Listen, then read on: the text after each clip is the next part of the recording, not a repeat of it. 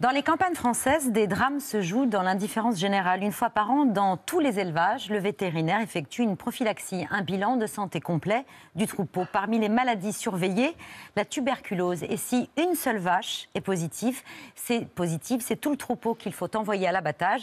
Une nouvelle qui fait flancher Bernard Daetz, éleveur dans le Béarn, viscéralement attaché à ses bêtes, le même bétail depuis trois générations. J'ai un lien très fort envers mes bêtes. Ta vache, tu la connais depuis toute petite, depuis qu'elle naît. Et chaque vache a son caractère et euh, on les connaît une par une. Vous voulez pas partir hein? Vous voulez pas partir? L'amour vache, c'est le titre de votre documentaire, Édouard Bergeon, qui se déroule sur trois ans, trois années pendant lesquelles vous avez accompagné ce couple d'éleveurs qui veut se battre pour affronter ce drame.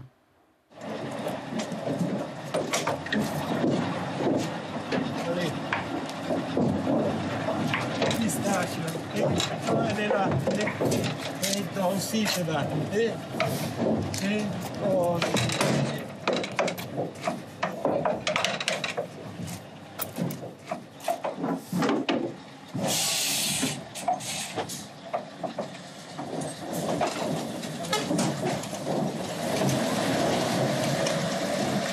Ça, c'est...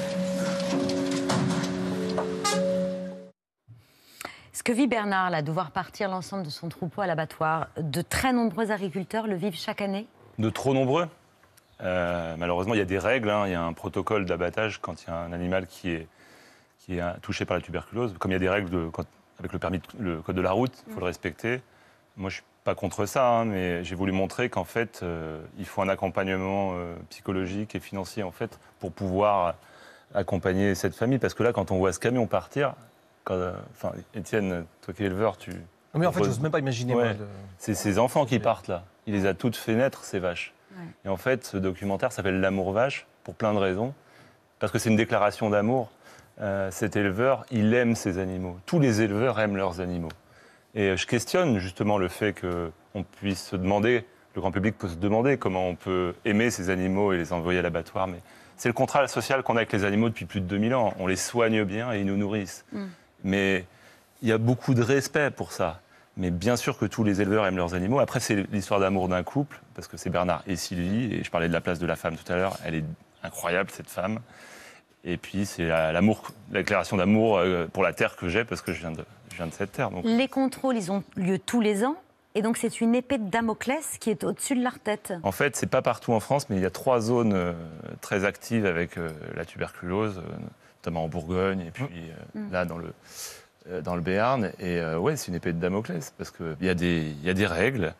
Euh, Mais ce, qui est- ce que j'ai découvert, c'est que cette, la viande qui va être euh, Abattue. abattue est consommable. Oui, parce qu'il n'y a pas de lien entre. euh, entre la, la- il n'y a pas de danger, il faut bien le préciser, ça, il n'y a pas de danger s'il y avait une bête infectée. Alors, toutes celles qui partent n'ont pas la tuberculose, il n'y en a qu'une qui est sortie, mais en, en C'est pour l'occurrence. éviter la propagation. Exactement. Comme pour la grippe aviaire, c'est pareil. Exactement. On abat tous les canards des Et, élevages. et c'est pas des normes euh, françaises, c'est des normes européennes. Oui. En fait, on a le statut en France euh, de pays indemne de la tuberculose. C'est-à-dire qu'il faut qu'il y ait moins de 200 élevages par an qui aient la tuberculose. En France, on est à moins d'une centaine. Mais c'est 100 drames, une centaine de drames quand même chaque année qui se jouent euh, loin des caméras. Et, et j'ai reçu un message sur Facebook un jour de, de- de Sylvie suite à, la- à mon film. Et j'en reçois beaucoup. Malheureusement, je suis désolé, je ne peux pas répondre à tout le monde parce que même moi, il faut que je me protège parce que c'est des, des drames fous. Et, euh, mais là, on a échangé et puis. euh, il se trouve que ma, ma- ma pr- ma présence n'était pas la bienvenue à ce moment-là et ça m'a donné vraiment envie d'aller la voir. Et, cette image, je la tourne avec mon iPhone en fait. Et je commence à documenter euh, cette histoire. Et je documenterai pendant trois ans cette famille. Et je documenterai aussi, je documente la vie rurale. Parce que on se rend compte que Sylvie, dont je parlais, la femme de Bernard, euh, elle travaille dans la grande distribution, 32 ans de SMIC, 32 ans de grande distribution.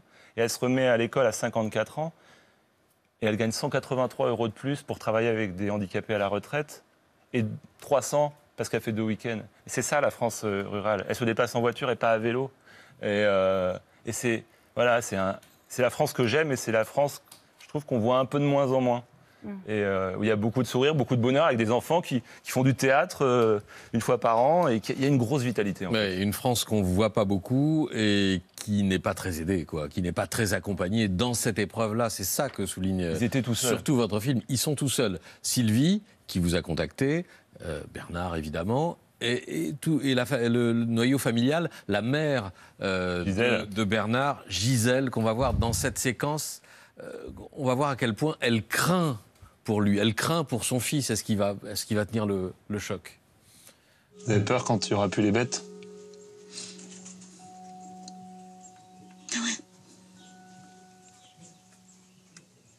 Il parle un peu, Bernard? Il vous parle un peu? Oui, oui. C'est important, hein? Ah oui, même moi, oui, même peine. Hmm. J'ai peur qu'il passe un ça beaucoup. Aller. C'est que des animaux, mais on s'y approche. Ah, c'est plus que des animaux. C'est une vie? Oui. Vous les avez nourris combien de fois, les bêtes? Mon Dieu, même des fois, quand on faisait des foins, hein, on soignait à minuit, pareil, avec, avec mon mari. Et, on m'aimerait, là. C'est triste de voir pleurer sa maman. Peut-être il faudrait avoir plus de courage, mais je m'en fais un peu d'être de craquer comme ça. Mais Il faut, faut craquer, ça fait du bien. oui,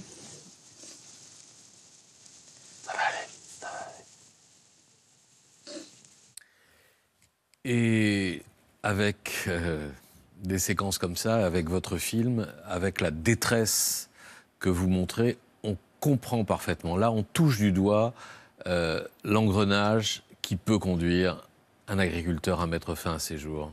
Ouais, puis- Comprend l'engrenage du, du suicide. Cinq ans avant votre arrivée, euh, Bernard avait fait une dépression avec tentative de suicide. Je suis d'autant plus touché que Gisèle, ma grand-mère s'appelait Gisèle, ma grand-mère euh, agricultrice, et, et elle, était sur, elle nous entendait discuter, elle était sur le banc, elle observait, elle a toute sa tête, hein, elle écoute tout. Et y a pas, voilà, une maman, elle se fait forcément du mouron, alors forcément, même après, on le voit dans le documentaire, elle, elle se demandait toujours si, quand elle allait à l'étable, elle allait pas, elle allait entendre répondre son, son mari. Mais mais il y a un attachement tel, c'est un don de soi l'agriculture. Enfin, les agriculteurs, Étienne Le Premier, nous nourrissent. Les- le lait ne sort pas d'une brique d'un supermarché. Oui. Il sort pas d'un petit truc en plastique. Le- enfin, Et il y en a de moins en moins mais des oui, il y en a de moins en moins. Et j'entends, j'entends souvent euh, certains, les, les élevages grossissent, euh, l'élevage intensif. C'est quoi l'élevage intensif déjà? En France, on a des fermes familiales. On n'est pas en Hollande, on n'est pas en Argentine. En France, les vaches, vous savez ce qu'elles mangent? De l'herbe. Et l'herbe, là, c'est pas, c'est pas une ferme bio.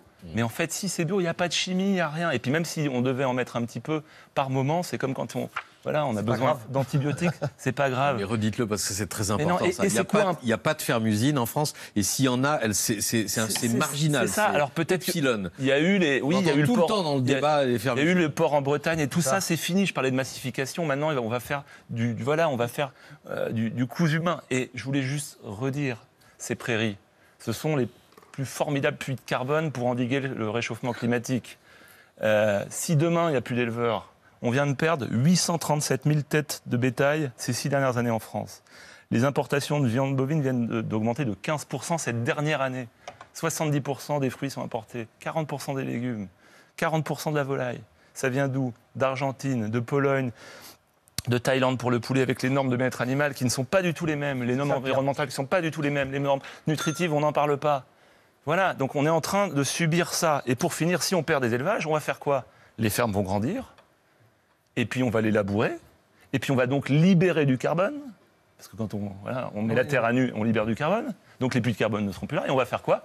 Des céréales, comme certains disent, arrosées de pesticides, on n'arrose pas, on pulvérise de temps en temps, et puis il faut aujourd'hui, les agriculteurs, ils s'adaptent. enfin, Ce qui- est la folie, c'est qu'on va importer de la nourriture pour, en France pour nous nourrir nous, qui vont même pas respecter les mêmes règles que nous, on nous impose en France. quoi.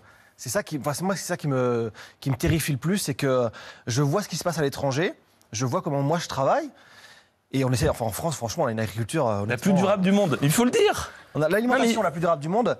Et à côté de ça, on va importer La plus saine. des, des- des- des aliments qui respectent même pas nos normes, quoi. On vient de prendre deux ans et demi d'espérance de vie en plus ces 15 dernières années. Ah non, mais C'est QFD. C'est ralenti un peu.